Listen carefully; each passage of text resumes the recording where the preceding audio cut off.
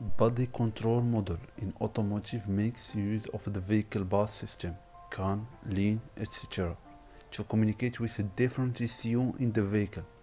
This module can be considered to be the brain controlling different ECU by sending and receiving signals through the vehicle bus. A BCM unit, which is also an ECU acts as a gateway or hub in order to interact with different ECU. This mitigates the need for cable plug-in connection between ECU within the vehicle. It also manages the flow of power so that the electrical model of the car does not get overburdened when multiple functions are carried out at the same time. For instance, when the user presses the power window switch, the car battery sends power to the BCM unit to communicate with the ignition module.